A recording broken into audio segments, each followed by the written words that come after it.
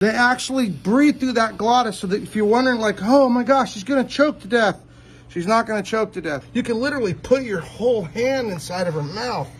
Okay, what we got here is probably one of the biggest boas I've ever seen. It's skinny and somebody dropped it off because it wasn't eating for them and they wanted us to give it 110% college try. And so I'm gonna try to give it a little bit of a head start. Wow, it's got complete rainbow. And uh, this is a Guyana boa and it must be, it must be pushing 12 feet long, over 10, for sure over 10 feet. And look at the head on this beast. So we're gonna do one, you gonna give me a hand? So we're gonna actually try to do is force feed it. Now, I haven't had it very long, but its body's obviously thin. Go ahead right here. Its body's obviously thin, but look at the head on this beast. It is just giant. I mean, it looks fake, it's so big. And that's because she's thin.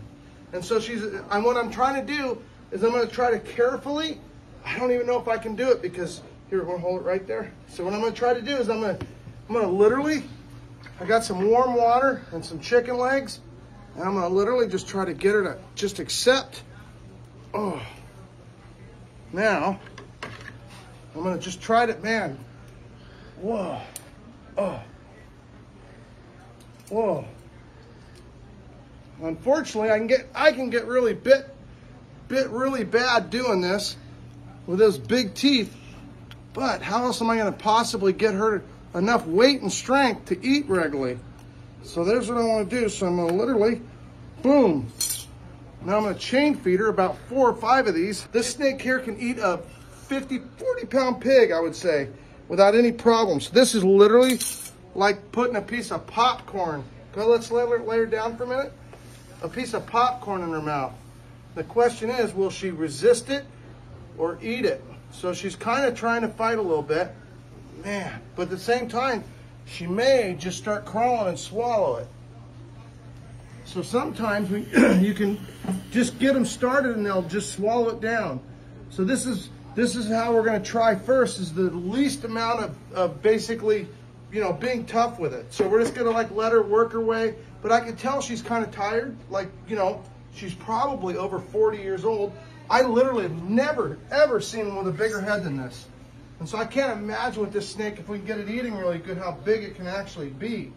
I would imagine it's probably at least 30 pounds underweight, 40, maybe more. And uh, so we're gonna see what we can do. She acts like she's gonna probably accept those piece of chicken. So I'm gonna just try to let her work for a minute. I got one all the way down to there now. So boom. Now chicken doesn't have the calories that I'd like to have, but at the same time, it like I thought, chicken's slippery. It's slippery and it's the right shape and she's so big that it's going right down.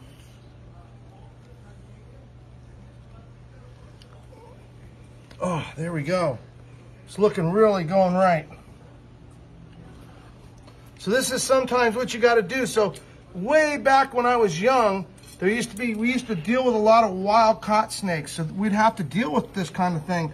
But now most of our snakes are born in captivity and are very, very used to of doing their own thing. And they're, you know, it's like your dog. And uh, I'm hoping that what I can do is get her some specialized food. I'll probably try uh, chicken, I'll probably try uh, maybe a guinea pig, some little bit, a couple custom things to try to get her to actually feed on her normal, normal response. But she almost acts like she knows she needs it. Because I'll tell you, this is, they don't normally, they normally fight a lot more than this. We're gonna just try to nurse her back, get her all healthy, get her size up. We'll have her check for worms and parasites just to make sure that she's in good shape except, you know, the fact that she's not eating and make sure there's not a reason. I'm a little bit, don't ever try this, by the way, because her teeth are, I guarantee you those teeth get a hold of me. I'm going to regret it. But that's just part of what you got to do sometimes when you play zookeeper. It's got, might be a little bit tough, but to get her acclimated, but I'm telling you, if there's somebody that's going to be able to do it, me and Tim will work real hard at getting it done. And already I'm really hopeful because just because she's letting me do this without too much resistance, so it's a good possibility that it's just gonna work out. So we'll know in a week because if this takes, we can work this way for a while to kind of get going on it. Like I said, in real life, this is almost no food. Look at this. You can see how big she is. You can literally put your whole hand inside of her mouth. Oh, remember I told you about those sharp teeth? Ow. Eh, see the little, they're sharp, trust me. I, I can't squeeze it because it's there, but I touched the end. Sharp as a razor blade. Now the funny, amazing part is, look at this. So that's the glottis right there. So when they're eating, they actually breathe through that glottis. So that if you're wondering like, oh my gosh, she's gonna choke to death. She's not gonna choke to death because that's what that's made because it takes hours for them to eat a big pig. And here we are, just taking a few minutes to get her going. And so she'll let that go. All this just needs to get past this first bend and we should be good. I literally have had her less than like maybe three days now, four days. And uh, we're just gonna, people who had it said they tried really hard to get her to eat.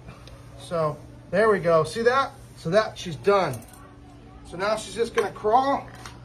She's got a little tiny lump in there for her. Now, the question is, what do you think about this kind of stuff? Is this crazy? The good news is, I guarantee you, there's not a whole lot of people know a whole bunch more ways to do it than us because we've been doing it for so long. Tim Tim's been working here for 20 years, and I've been working. I don't even want to say how long I've been working with him. Tim just gave me a complete update because I wasn't here when he was dropped off. So now the real story comes out.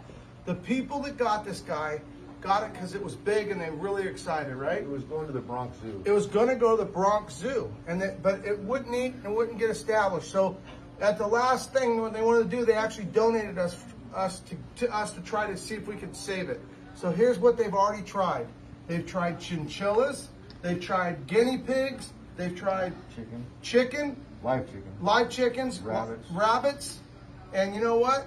It's going to be tough, but we're going to try everything we have to. The good news is we got its food down it. And he says lost 25 pounds at least. 25 pounds. I, I, I figured it at least 40 pounds.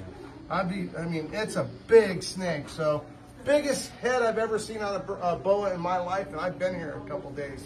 I've seen a thing or two. Oh, oh, wrong, wrong commercial, huh? anyway, living the dream, guys.